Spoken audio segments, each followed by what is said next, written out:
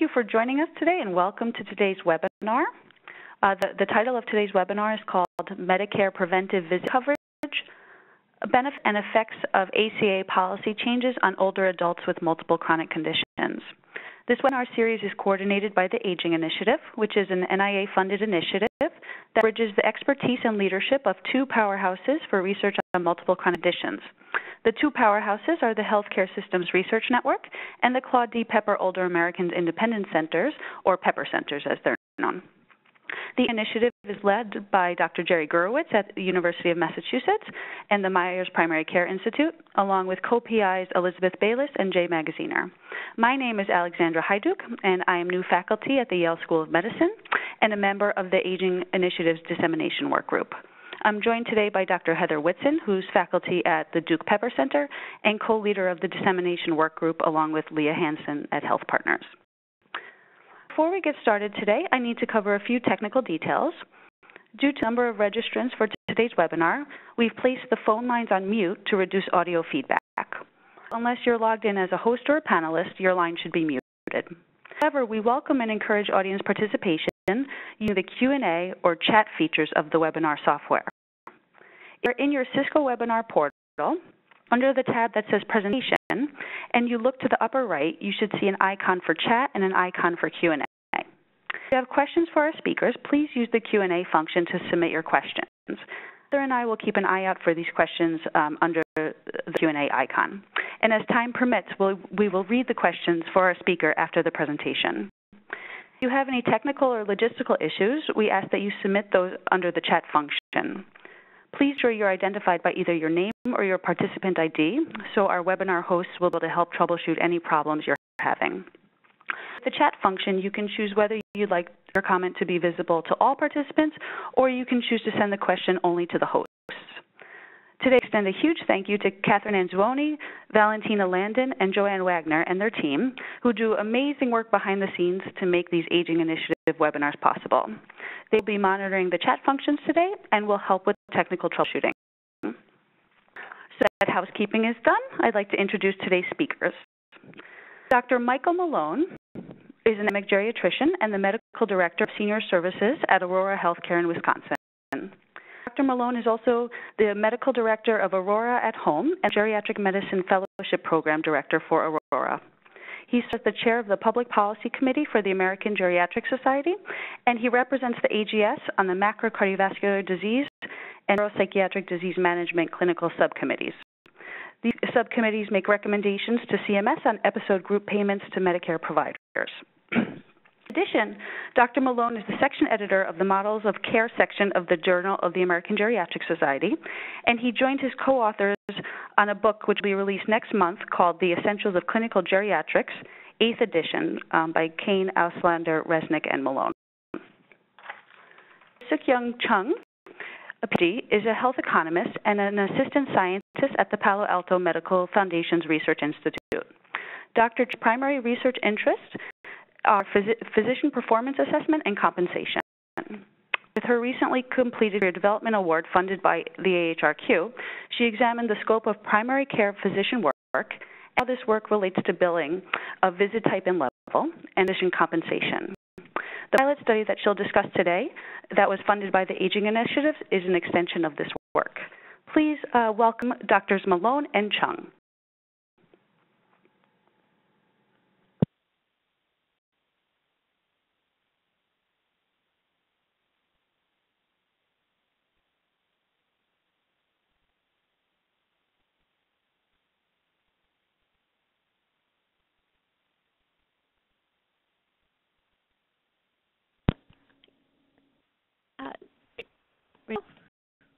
Yeah, Catherine, do you want me to start first?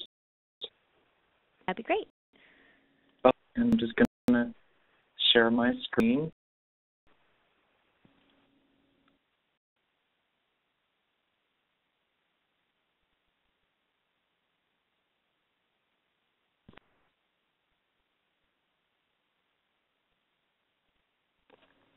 And Amy, the uh, patient okay?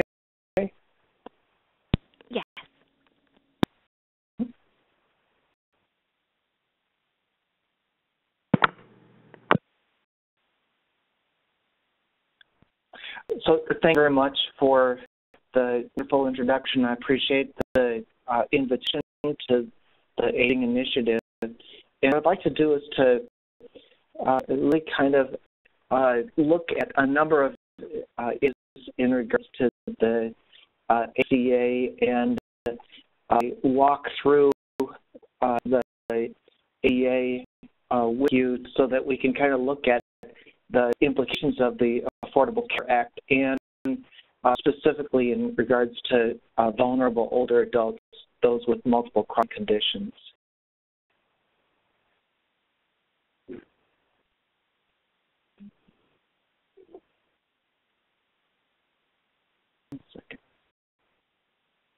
Okay, so um, this one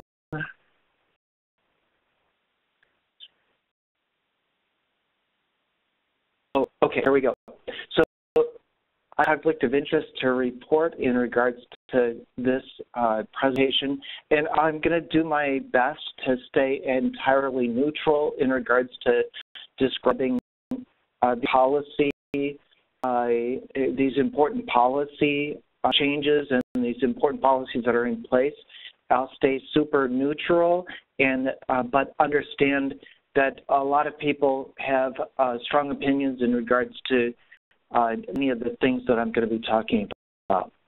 So what I do is to really outline this um, Affordable Care Act um, and the impact that this uh, important legislation has had on Americans, and I'll do my best to be able to highlight the impact for older Americans. We kind of think through and study the how the law has increased coverage uh, and uh, the nuances in regards to those with multiple chronic conditions. Um, we'll also study, and I'll try to uh, synthesize the important points in regards to how the Affordable Care Act has had an impact on our healthcare delivery system. We'll look at like what happened last week, and I'll try to synthesize that in a way that uh, puts it all together. Look at what the changes that were being proposed and what happened, and then we'll look at kind of the implications uh, for vulnerable older adults, and then we'll kind of come full circle in regards to thinking about well, what does American Geriatric Society say about this, and uh, what could uh, um, nutrition, a health sciences researcher an American do in order to respond to all of these things, uh, the prior uh, five bullet points.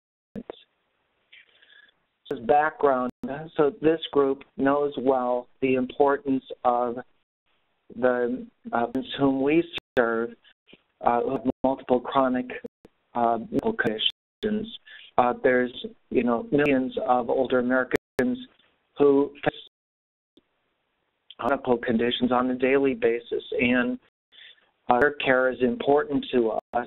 Uh, it's important to them. It's important to their family caregivers, and uh, uh it's important to Medicare, who, who has responsibility of developing and healthcare systems that uh, account for uh, the needs of these folks and in a high quality, patient-centered strategy uh, that manages costs uh, uh, efficiently. The four elements of care uh, for these folks are outlined uh, on a JAMA paper from 2010, which I enjoyed reading. So, um, I, I, pivoting now to the Affordable Care Act, um, I, I tried to synthesize this very large legislation uh, on uh, a, a, couple of slides. I'll do my best to highlight the most important parts of the this act so that you have an understanding of the implications uh, uh of this legislation uh, so that you can kind of understand it uh, at a higher level. So there, the really uh, important aspect of the Affordable Care Act was that uh, it mandated um, health insurance coverage for individuals. Um, those who did not have uh, insurance coverage were subject to a penalty. So that was accomplished in a number of different ways. Um, uh, number one, the extension of Medicaid uh, it, within 28 states in the District of Columbia, initially, initially at the federal government's expense, non-elderly adults with below a certain level uh, of the, the, poverty and that uh, will uh, resulted in uh, the uh, coverage to approximately uh, 10 to 11 million individuals. Next, the uh, way that this Affordable Care Act had an impact was by providing subsidized insurance either uh, through state exchanges or through federal insurance marketplaces uh, for individuals and in some cases for small businesses. Um, so that had an impact of another uh, about 11 to 12 million. Other, um, as was uh, a, a, impact on uh, our daughter, uh, she at the age of uh, maybe 23 till actually uh, this month receives coverage through her parents' health insurance, and she, as well as 3 million others, uh, received access to health insurance coverage through this through this mechanism. Further, um, health insurance companies were prevented um, uh, terminating coverage on those who either already had pre-existing conditions or who had insurance coverage but actually became sick and then were um, uh, previously dropped off the, the rolls. Um, that had an impact on 10 million. Uh, then there was further uh, coverage uh, that eliminated the uh, many out-of-pocket costs for services. So, uh, in short, uh, this legislation had an impact on, um, I'd say, tens of millions of individuals in our country. The costs are noted in blue. I'm going to put red, but I just chose to make it really neutral and leave it as in blue.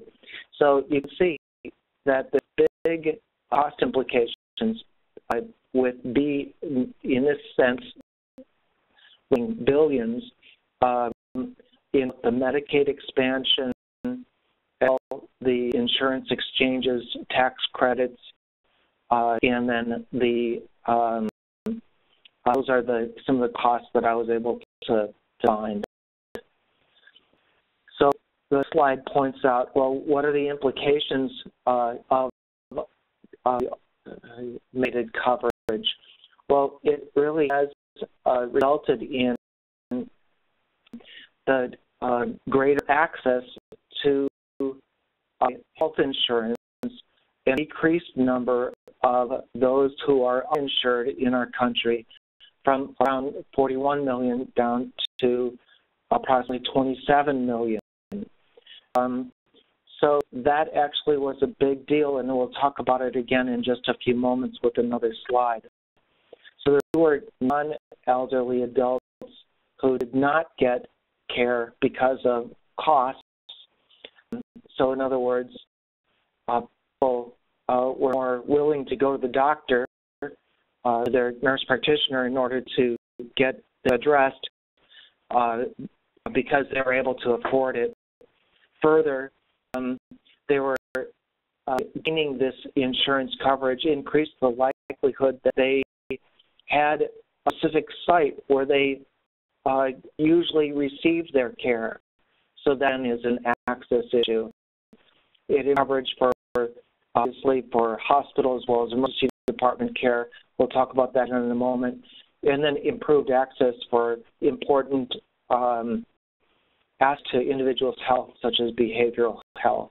And this all uh, up to uh, in context of those with chronic conditions is the possibility that uh, folks who were able to take care of themselves receive appropriate care as younger or middle-aged adults, that they would have um, had access to coverage uh, at a age and then eventually become eligible for Medicare.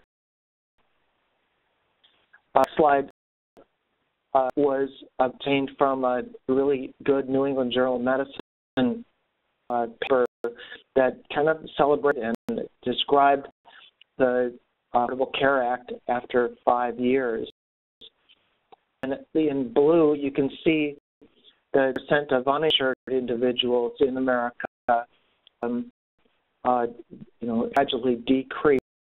It looks like when I looked at this at the six-year mark, uh, with another reference, generally the rate of uninsured has dropped. It really depends on how they assess it and measure it, but it's the consistently uh, indications are that uh, the number of uninsured Americans has, in fact, uh, the percentage of uh, adults without insurance has decreased. Um, and then again, the uh, other concepts that are important here is that, that folks had better access to primary care and they reported us troubles or they that they um, uh, sufficient resources in order to go get uh, the that they needed. So I really enjoyed the next paper that was in uh, uh, JAMA Internal Medicine um, in October of 2016. And what they did was uh, really quite interesting. So they saw three states uh, in the South, uh, Texas, where I uh, uh, trained and where I grew up and where I still uh, have a real kind of a sense of uh, belonging. Um, so Texas, and then they also looked at uh, Arkansas and Kentucky, and Kentucky, and they they noted that, that Arkansas and Kentucky like opted in to the Medicaid expansion, and Texas opted out. So what it was they looked at uh, three different time points um, at these three different states, and they called folks uh, and asked them uh, about their health insurance coverage and another uh, a number of different uh, aspects of their uh, health utilization, both before, during, and after the implementation of, of the Medicaid expansion. So you can see in the figure, and I put a little blue arrow uh, in regards to Texas, that the uninsured rate uh, went, uh, but in Arkansas, Kentucky, it went down as well.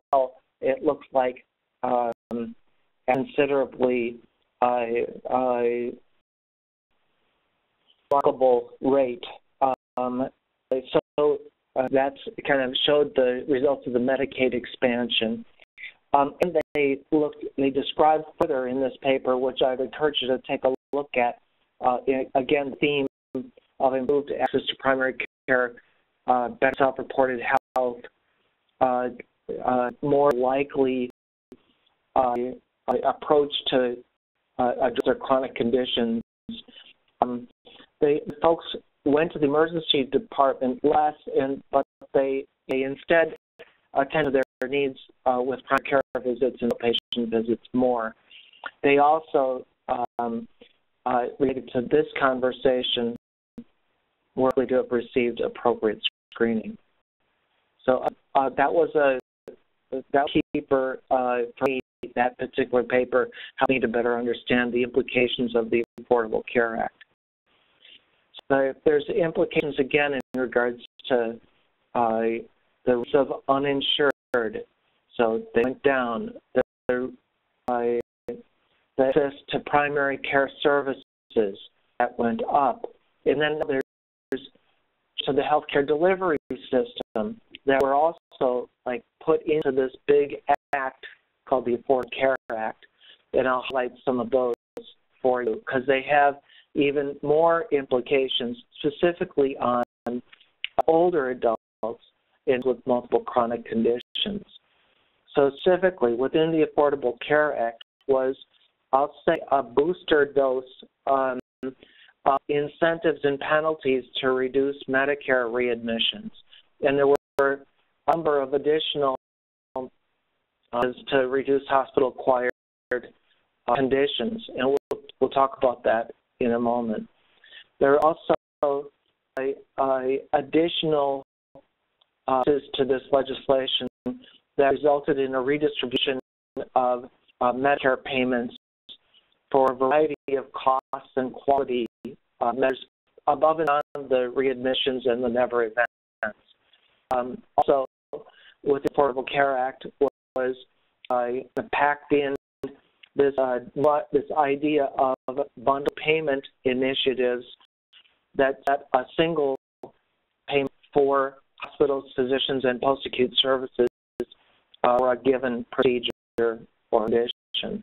And finally, in terms of the, how the Affordable Care Act affected the, the care delivery system, uh, Affordable Care Act like really pushed the uh, uh, development of and the dissemination of accountable care organizations, uh, which are encouraging uh, the integration and the coordination of the care and uh, they're taking responsibility for the cost and the quality of care for beneficiaries.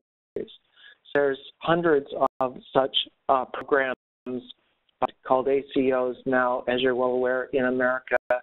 And the uh, when in, again in the context of care older adults with multiple chronic conditions, the quality measures uh, in those of who fit in Medicare shared savings programs uh, are actually better than those in uh, uh, standard fee-for-service Medicare. So again, uh, this is all a part of the Affordable Care Act.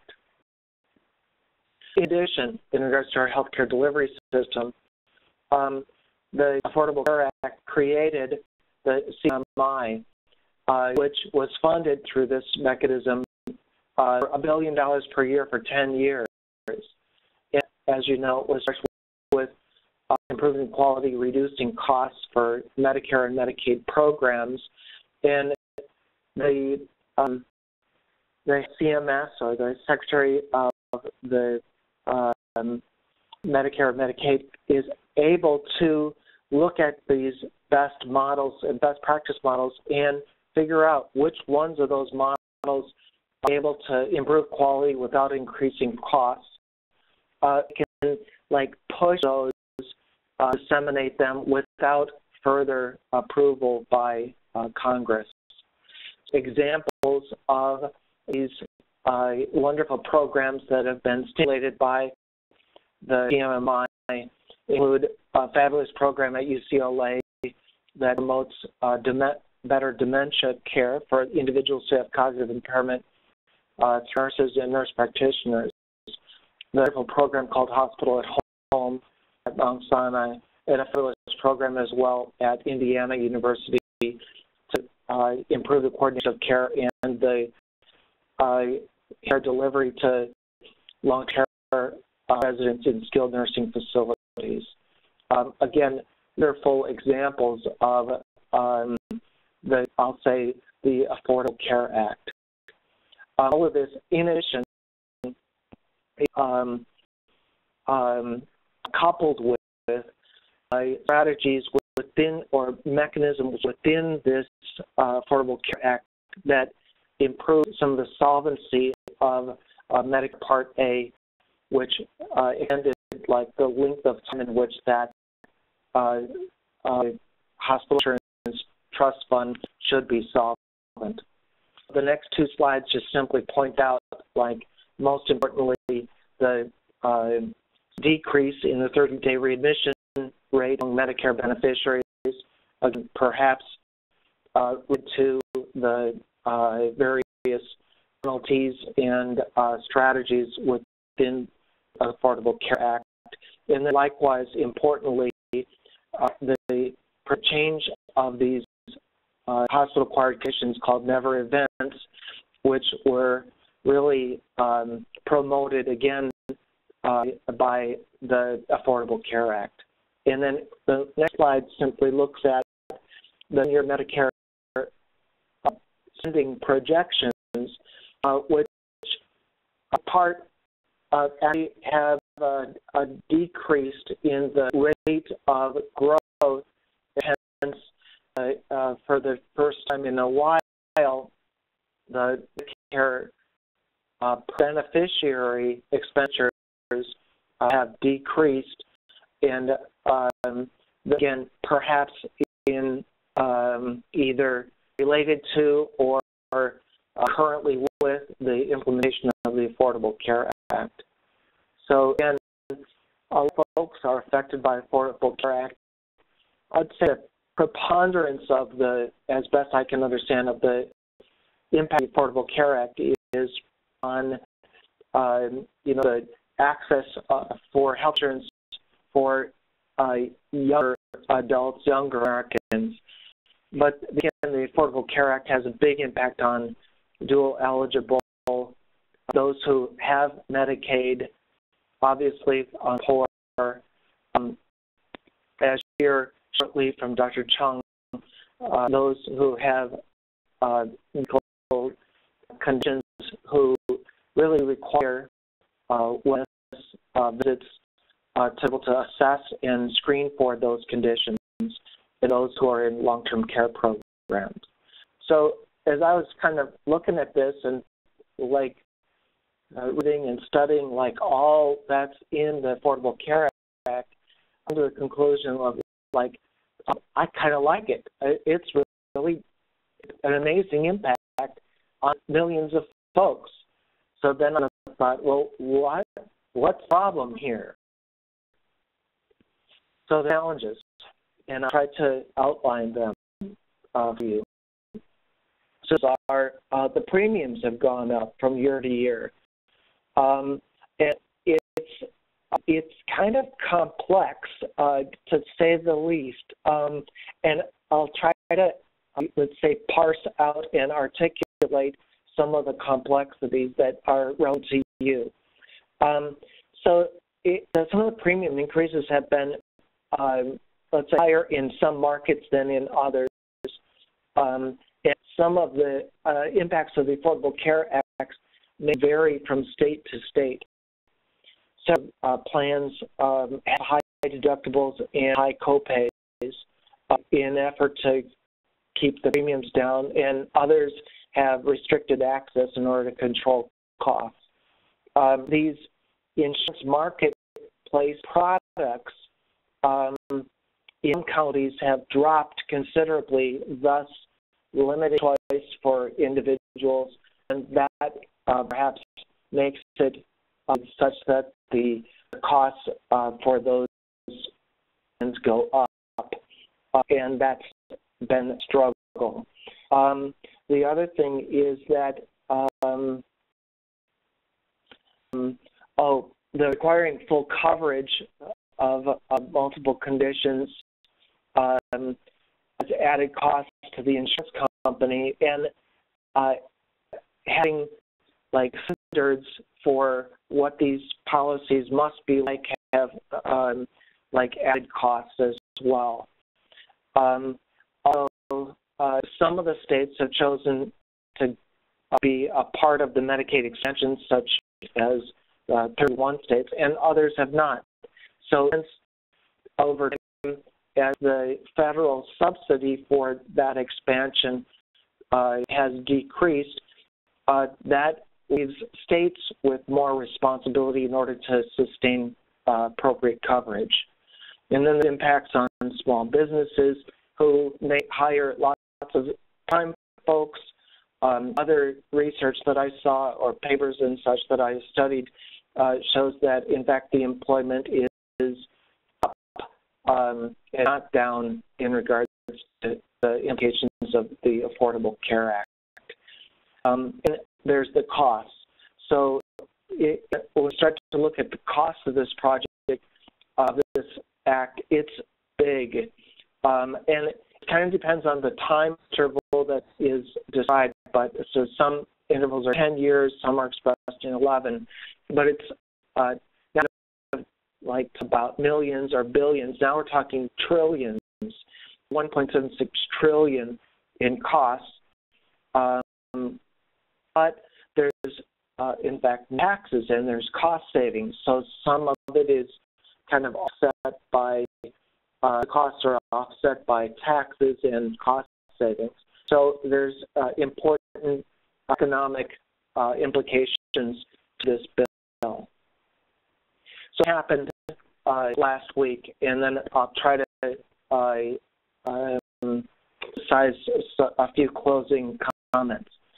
So last week uh, there was a lot going on. So as you know, the House bill passed in 2017 in May, and then the CBO indicated uh, in their report that because that the House bill would actually knock 15 million uh, Americans off their health insurance over a 10-year period. The Senate took it up um, on July 25th, and a lot happened uh, immediately within uh, uh, like a, a, cluster of days.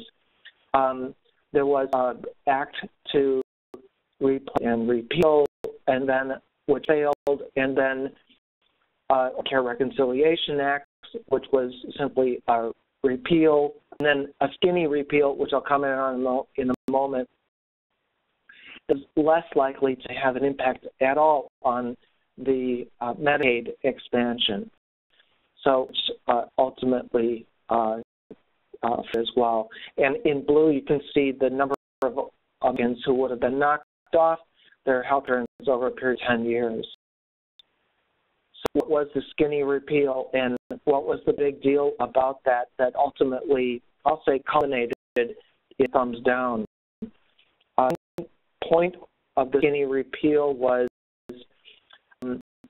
I guess, a drop of the individual mandate as well um, a an effort to increase uh, the on contributions to health savings accounts, um, waiving of some of these minimum set of benefits, um, unfortunately the uh, and the prospect of eliminating funding for prevention and public health programs.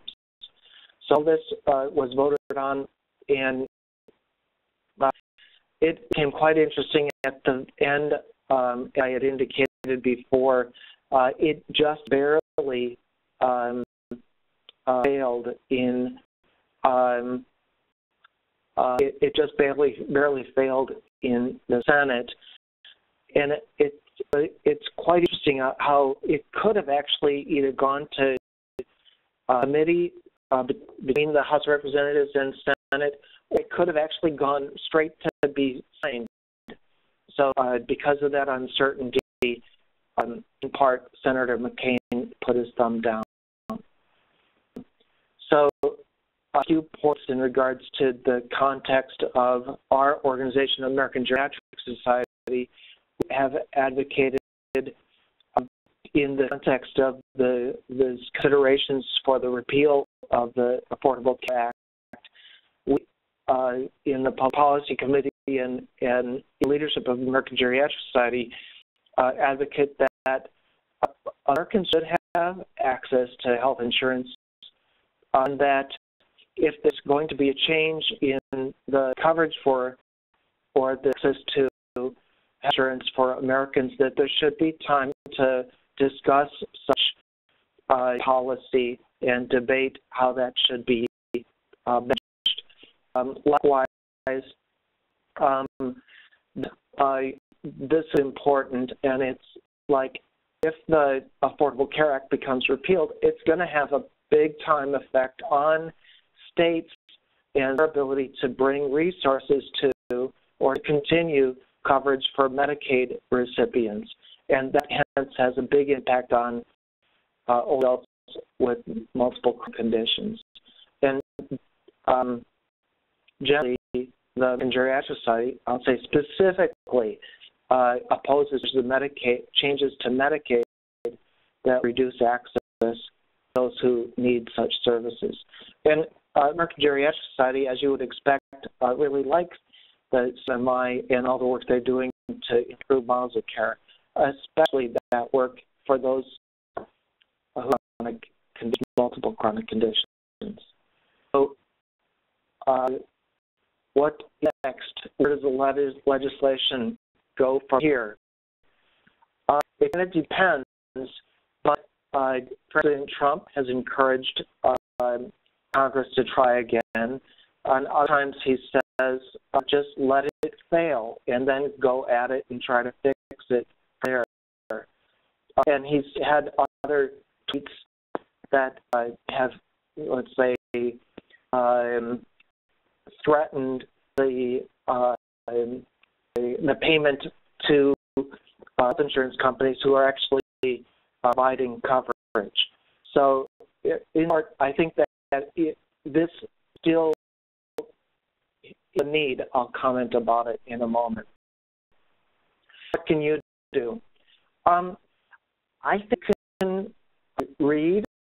You go to the Family Foundation and, uh, and hang out there and read some of the uh, uh, topics that come up that they uh, print in a very unbiased strategy.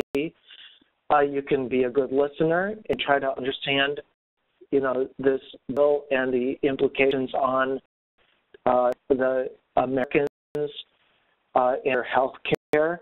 You can uh, champion, as you already are doing, the improvements in care for older Americans and uh, for improvements in our healthcare delivery system so that folks get quality care. Um, that's important and part of our values. You can join the American Geriatric Society Public Policy Committee because we need really bright people like you to who understand uh, important implications of excellent care for individuals, bringing excellent care to uh, our healthcare systems. You can write your congr- congressional representative, your senator, um, and you can, uh, if you just do so, tweet. So some key themes just to kind of pull it all together. The effect really has had uh, major implications as to access to health insurance, access to care for Americans. Um, that's a big deal, and it's affected millions. This Affordable Care Act actually uh, it had big and broad and important implications to how our healthcare delivery system has worked over the last several years and how it is likely to work into the future. Um, it turns out that last week uh, it was all uh, kind of uh, teetering, and um, I, that was kind of a big deal. And I think that it still may be vulnerable and there are actually several important issues that are this Affordable Care Act that should be addressed to make it better uh, and to uh, improve the healthcare delivery system for America, and particularly for vulnerable older adults, and uh, hence those with multiple chronic conditions. Was the Affordable Care Act in about uh, 20 slides or so. Thank. Oh, I'm sorry. Go ahead. Yeah.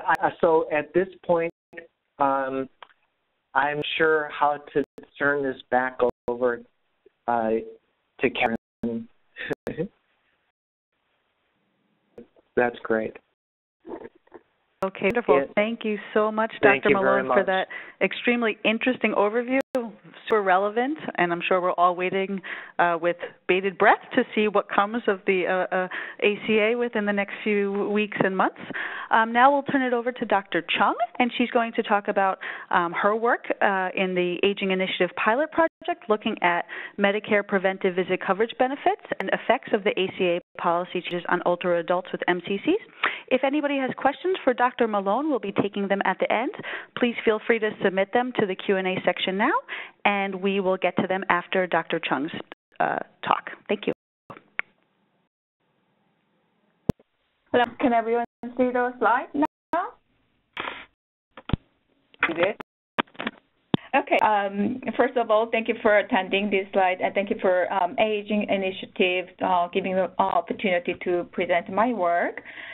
Um, put into context, um, Dr. Malone um, um, described the scope and of the Affordable Care Act and the impact on briefly impact on all, the adults. And uh, my work is the what those main part or not very highlighted um, uh, of um, um, what the Affordable Care Act uh, made was uh, Medicare expand of preventive visit coverage. And um, my presentation will be mostly on how it, I mean, in, in when in, in my organization, Palo Alto Medical Foundation, how that coverage uh, took impact, uh, mostly empirical work of the um, data analysis. So it's quite different from Dr. Malone's presentation. Brief review. Um, Strategy for service in Medicare is for diagnosis and treatment, and, but not much for preventive services. Um, theoretically, preventive care needs can be addressed during routine primary care visits, but um, more pressing needs for addressing acute and chronic health conditions leaves little time for preventive care. So, implicit preventive visit coverage can increase time devote, devoted to prevention in primary care. So, uh, that's the rationale. So, Care first introduced welcome to care visit in 2005. Uptake has been very low many months, the eligibility window was very narrow, which was for six months of payment, plus there was substantial out-of-pocket cost. And there's the documentation requirements to build a visit were too uh, burdensome. Then 2011, there's a big change in coverage. The copay was eliminated, so it became free, and the benefit is not limited only to the first year of the enrollment, but it is now annual perpetual. The annual part is named as um, annual wellness visit. Uh, Medicare covered preventive visits are required to cover a wide range of preventive services, including medical, family, uh, medical and family history review, and biometrics for cognitive impairment, depression, functional ability, reviewing screening services, planning end-of-life care, education counseling, and referral for other personalized preventive services. It is um, designed to help identify conditions that are particularly important for older adults. So expected that taking care of preventive needs in doing this um, dedicated visit, routine primary care visits can be more effective in managing existing conditions. So, uh, with the funding from Aging Initiative study, uh, we sought to understand what is the impact of the, the Medicare's preventive visit coverage, first, on the realization of preventive visit itself. We expect that there is an increase, there would be an increase it not necessarily translate into true increase in preventive care if those visits simply replace privately paid preventive visits or non-preventive um, routine primary care visits. I mean, the extent to which those substitution took place. And second, by the subgroup of patients who are more likely to make preventive visits and assess whether the gap in utilization has been reduced by the coverage expansion. Subgroups, we focus on age and comorbid conditions and insurance type. So our hypothesis was that seniors with multiple conditions or who are very old are less likely to make a preventive visit as they are over, overwhelmed by um, frequent um, medical appointments and um, limited mobility. But the impact of coverage would have been greater in these groups. They examined whether the change in preventive visit use actually improved the condition of recommended preventive services. Oh. Um, so the setting is Palo Alto Medical Foundation, a large multi-specialty mixed payer group practice in Northern California. A contract with a group of multi-specialty and, um, physicians, um, uh, 1,500 physicians who serve more than a million patients a year. From electronic health records,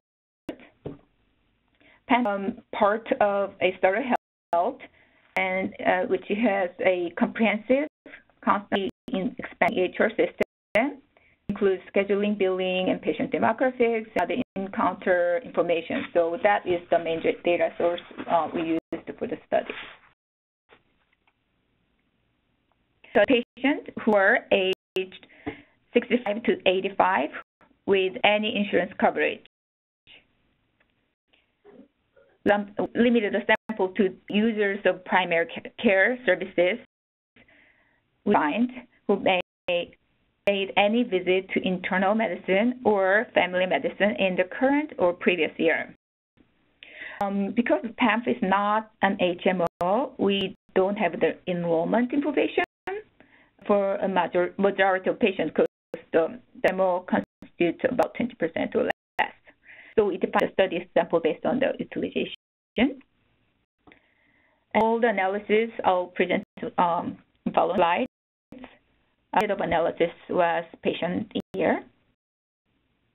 At the period, on average, we see the table. Um, percent of patients here made a preventive visit. Um, is uh, racially diverse uh, for African Americans. For comorbidities, we used um, Charlson Comorbidity Index to capture the burden of comorbidities. So the question, does the increase in Medicare coverage lead to increased preventive relation? Um, a difference in differences approach. Compare preventive visits during years before and years after the introduction of annual wellness visit. That is one difference. And um, the the trend among the traditional fee-for-service Medicare enrollees was compared with the contemporaneous trend for people of the same age range in the same group, but with insurance types, Medicare HMO, and private fee-for-service and private HMO. There's any comparable difference in utilization among patients with other insurance as well, then uh, this suggests that um, an impact is uh, also Medicare policy change.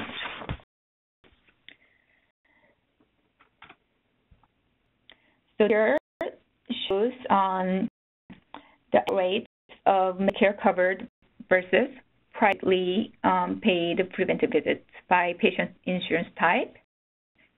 So Medicare fee-for-service enrollees, the Medicare covered preventive visits, which is um, in the height of red bars, increased from um, 1.5% before 2011 to more than 30% in 2013. At the time, the rate of preventive is not covered by Medicare, which is height of uh, turquoise bars, decreased substantially. So the overall rate of preventive visit for this group doubled. Similar but I mean, much smaller, but still statistically significant increase among uh, people with Medicare HMO of the the increase in um, a, uh, annual wellness visit in this group as well. well, Medicare HMOs include uh, preventive visits in your benefit package, so there's no economic incentives to use more of these new visit codes. But um, the Medicare's uh, promotion of annual wellness visit may have influenced this, the in this group.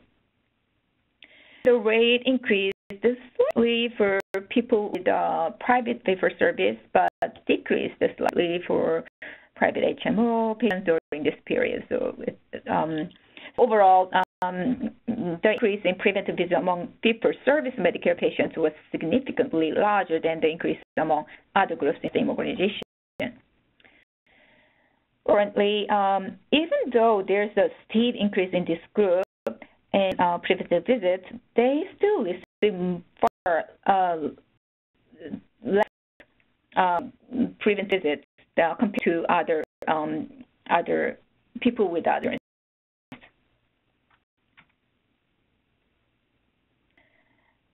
then um, another question is just uh, does, does this uh, annual wellness visit just a substitute for existing primary care visits, or does it add to other visits? So, the, um, in this chart, uh, the light um, green bars shows that the non-preventive primary care visits, so that rate decreased among Medicare fee-for-services enrollees. The, uh, these visits decreased among other insurance types as well, very degree. So over suggest that um, there have been organization-wide changes in practice patterns unrelated to Medicare coverage during this decade. Um, well, statistically speaking, the reduction in the, these non-preventive primary care visits among Medicare fee-for-service patients was actually smaller than the reduction among um, Medicare HMO patients, but it was greater than groups. So overall, Medicare preventive visits replaced some other preventive visits, but not the routine primary care visits. And second question, how of the preventive visit coverage differ among subgroups. We used generalized linear models with random effects from 2007 to 2014 and the variable was an indicator of where a patient made a preventive visit or not given year. For relevant patient demographic and clinical characteristics and provider characteristics. In to the overall sample analysis, uh, also ran separate analysis for pre versus post-annual wellness visit period to assess whether any disparity in preventive use narrowed or widened with this average. So found that um, um, the result is very, very clear. Uh, most of the variables included in this um, analysis were very statistically significant. The positive predictors were um, younger age. These are um, patients with ages 65 to 85. And Asians as compared to non-Hispanic whites, and post-2011, of course, and insurances, especially Medicare HMOs, as compared to Medicare fee-for-service. Female provider and providers in internal medicine versus family medicine. Conversely, predictors were older age, Latino, and having more comorbidities. Um, oh, we, it's not here, but we ran um, a slightly different model with covariate of frequent primary care visits and um, and it was negative predictor, but uh, we did include it here because um, um, it's multicollinear with uh, number of comorbidities. So the, part, um, the possible explanation is that those frequent users who are like to have multiple comorbid conditions maybe some some of needed preventive care during their routine visit, which is a hypothesis, but we haven't explored that yet.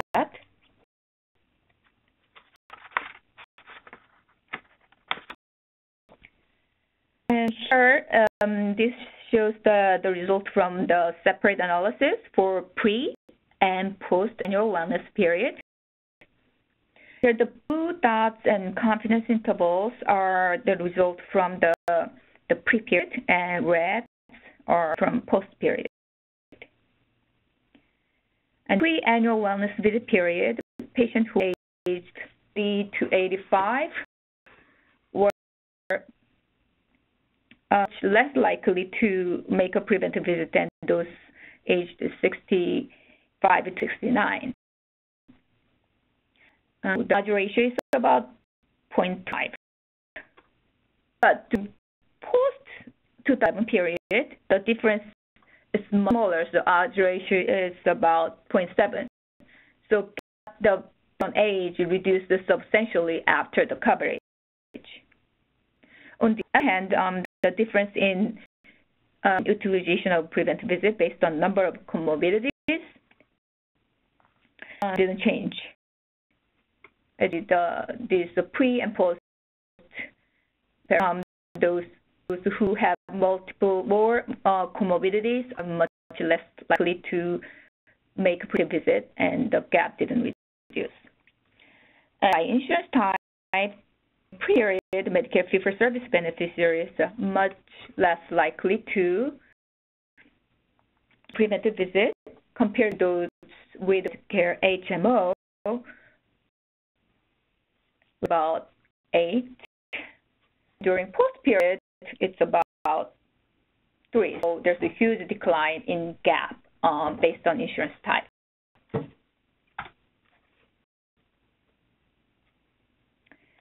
So first question, does usually lead to increase the uptake of recommended preventive care? Again, use the GLM with patient random effect. Um, for each previous services, which I will show next slide, we ran separate model with patient, and each model dependent variable was an indicator of whether the patient met the recommended target or not.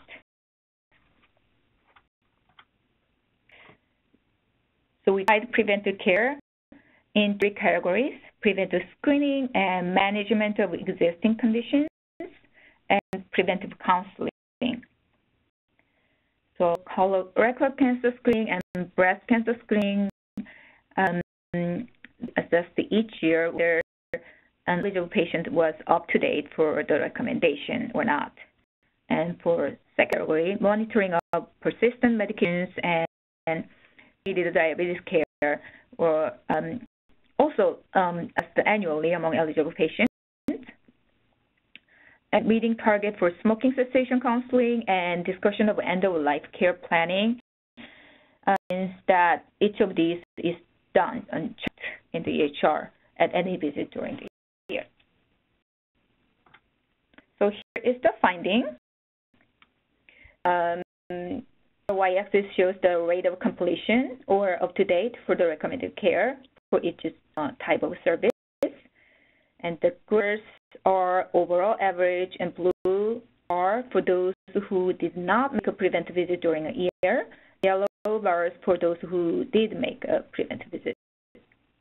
These rates are predicted values based on the regression model, controlling for all other relevant factors. Those service categories, seniors who made a preventive visit were significantly more likely to have um, completed the recommended visit than those who did not. And the difference is largest for smoking cessation um, and uh, discussion of end-of-life care. And uh, followed by uh, colorectal cancer screening and breast cancer screening.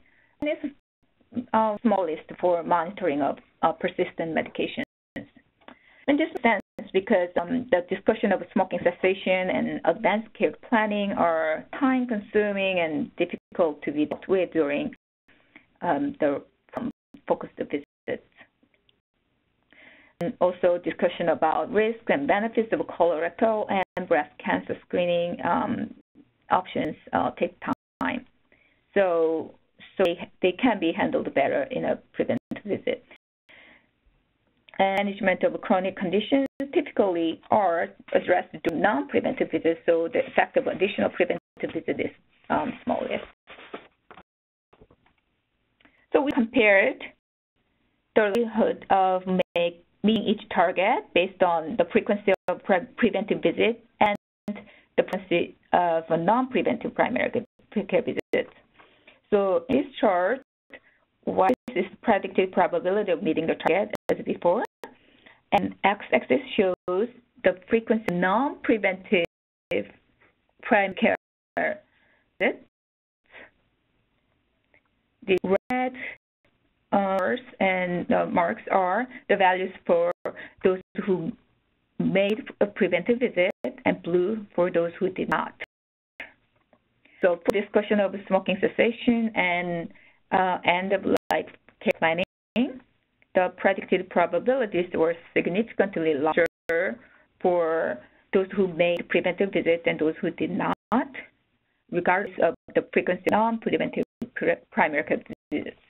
So for example, here, um, the likelihood of having a discussion of end-of-life care planning, those who made a preventive visit only, well, 1%, which is about 10 percentage points larger than the rate among those who made four or more non-preventive primary care visits only.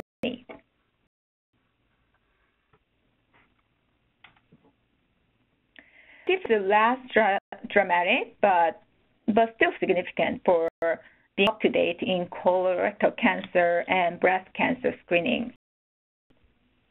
Screening rates were significantly larger for those who made a preventive visit than those who did not, of the frequency of non-preventive visit, primary visits. Both um, the predicted the predicted rate is about um, about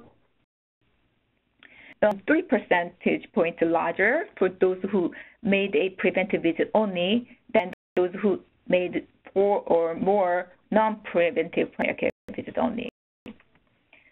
So one thing to note here is that um, people um, who did not make any primary care visits in here, this, this zero pre, pre um, care visits, they still have um, quite a high rate of completion. It's um, because um, uh, screening procedures are not all uh, recommended annually, but with long period uh, intervals so, uh, for colonoscopy every 10 years. So we included in this sample those who are active primary care patients, which is defined as only one primary care visit in the current or previous year. So they may, must have received in the past years. Um, also, these procedures could have been done uh, by specialists.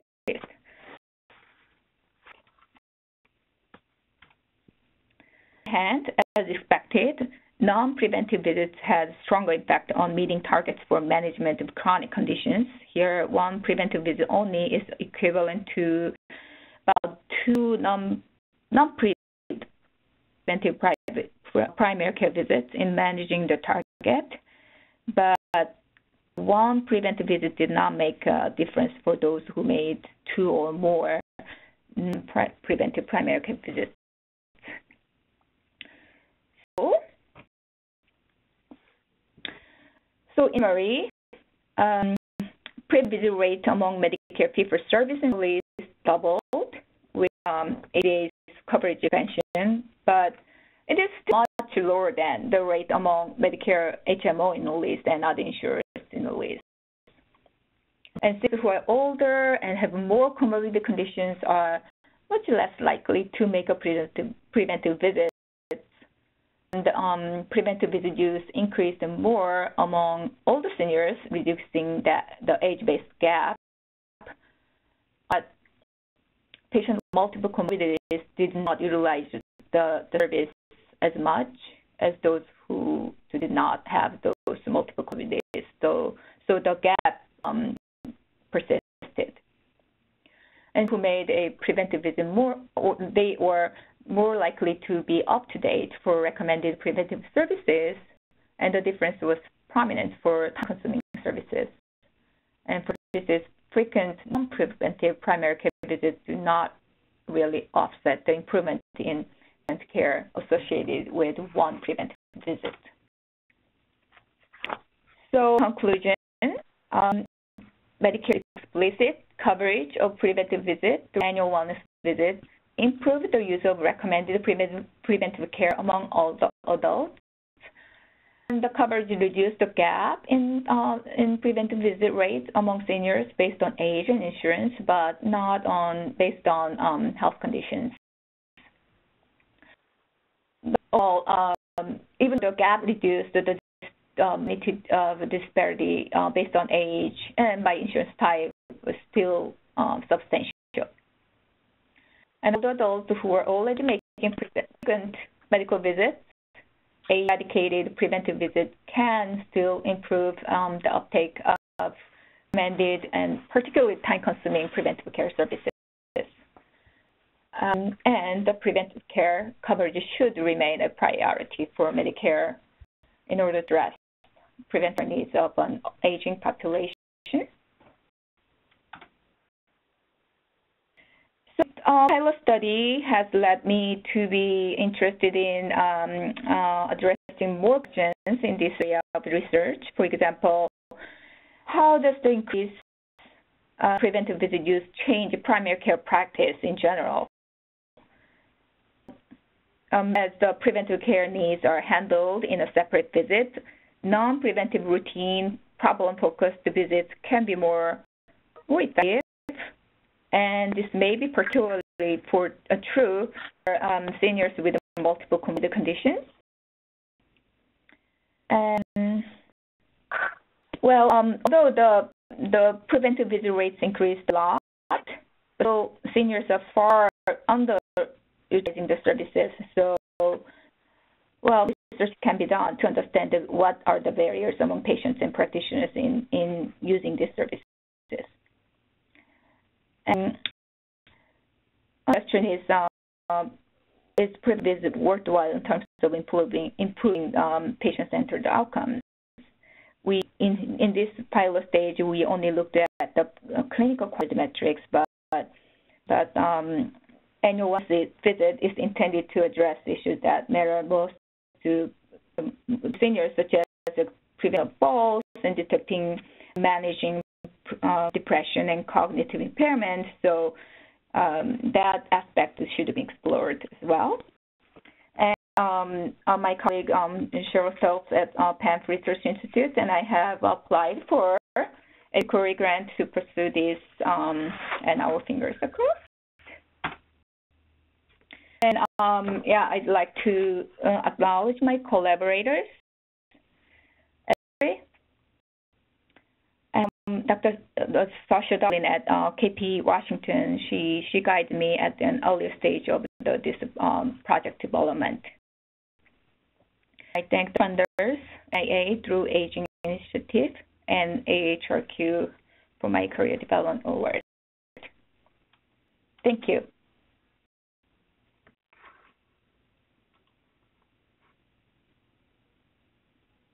Did, um, can someone take from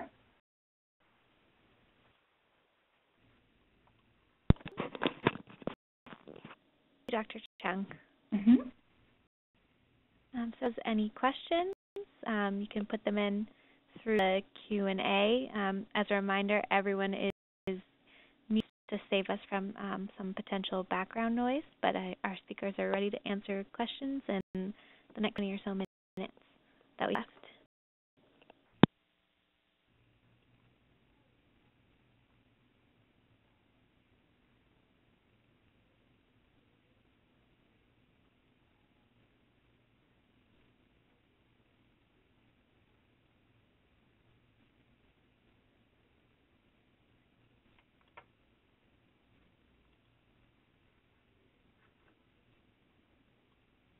A question here for Dr. Chung.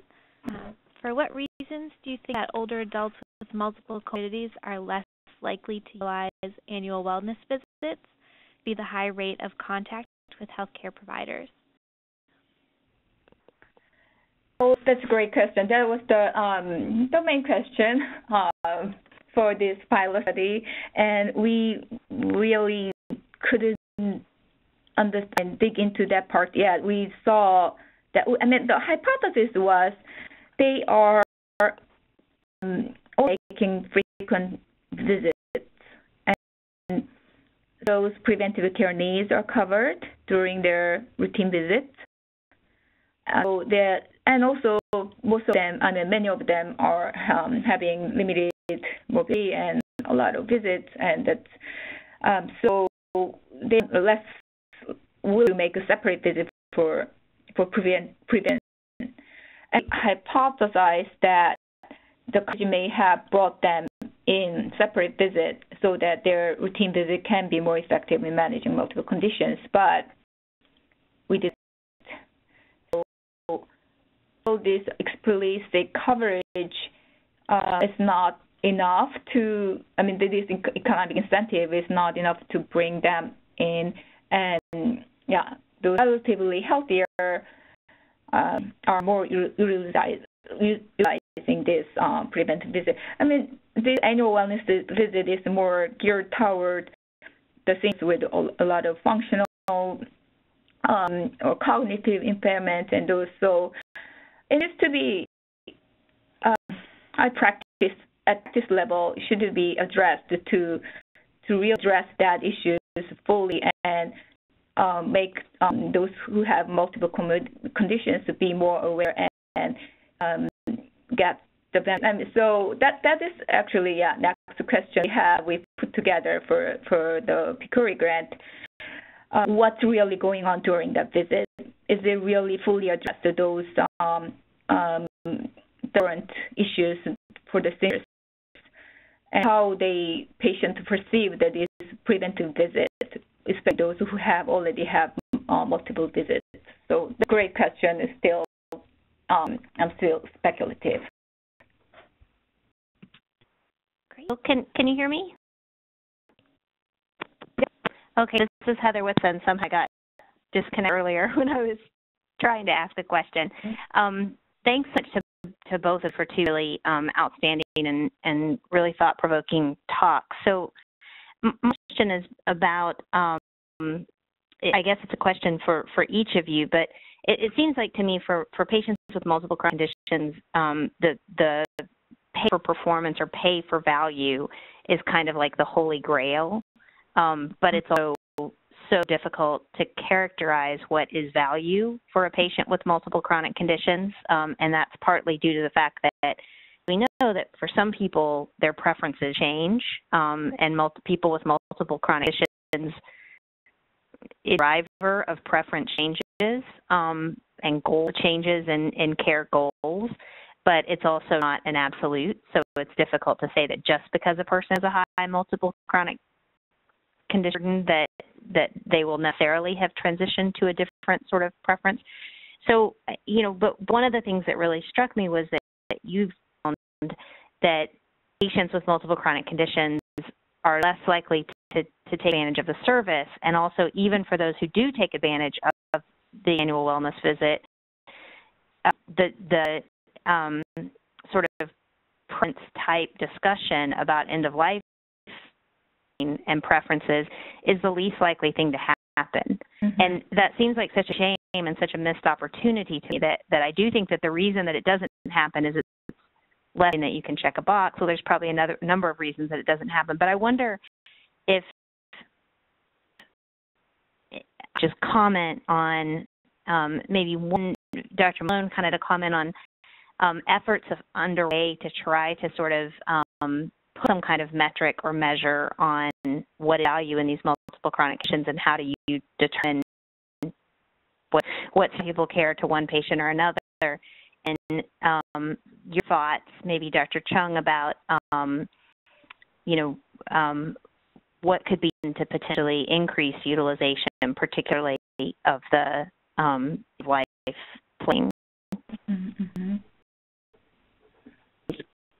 This is, um, and perhaps if Catherine can pull up the slide that's uh, number four, uh, else she can switch over the control back. Should I go back over to the uh, my screen? You should get there. Here. Um,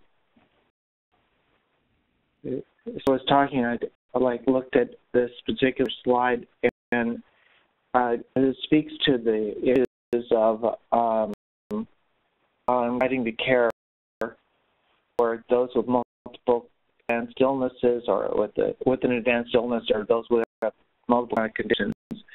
And you know, it it started to highlight some of the values about uh, working with those families and with the patients about determining what their values are and what they're uh, important to them and how to frame, how to address their needs, the development of a, uh, a plan that uh, outlines strategies to implement uh, addressing their their preference and then coordinating that care and um, engaging the patient.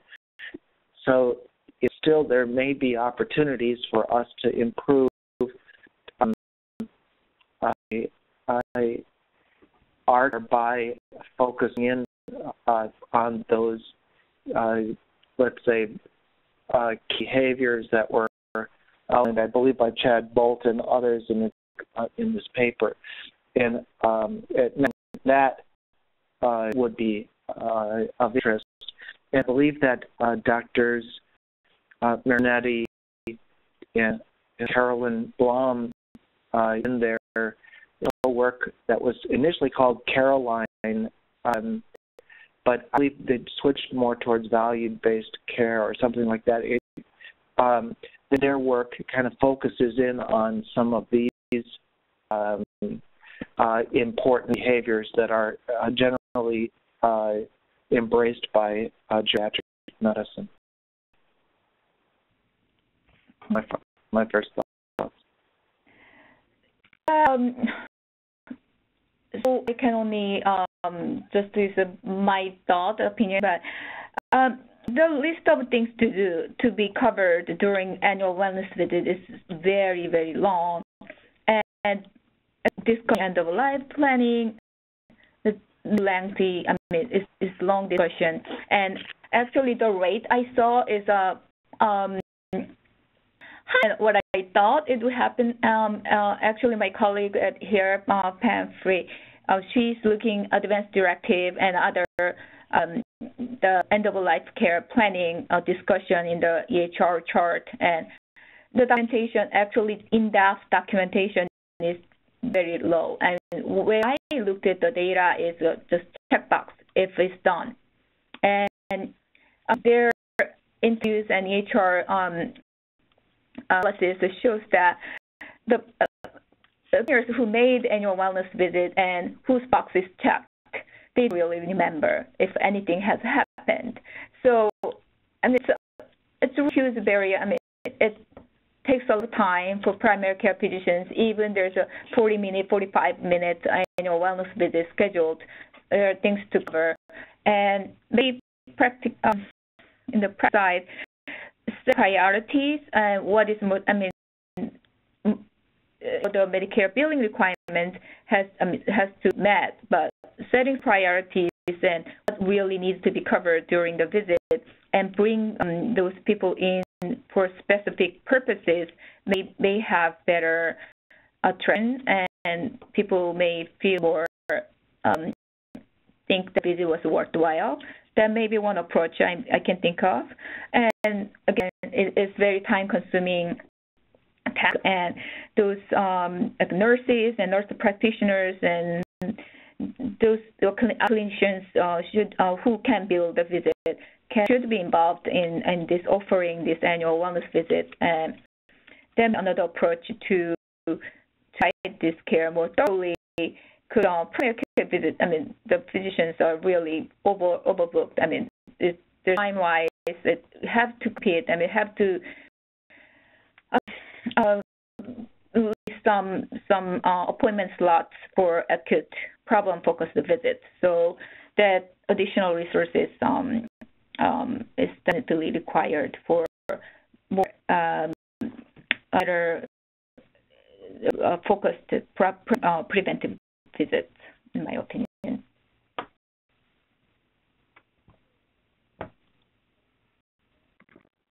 That was um, responses from both of you. Um,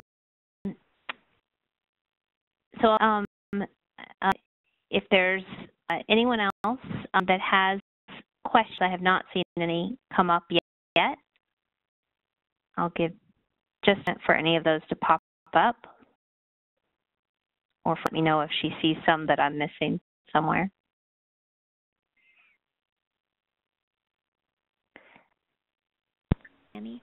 Okay.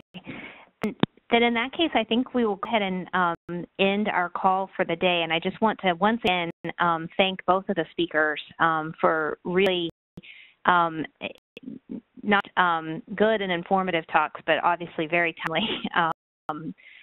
Um, um, and I appreciate uh, both of you for for sharing your your expertise with us.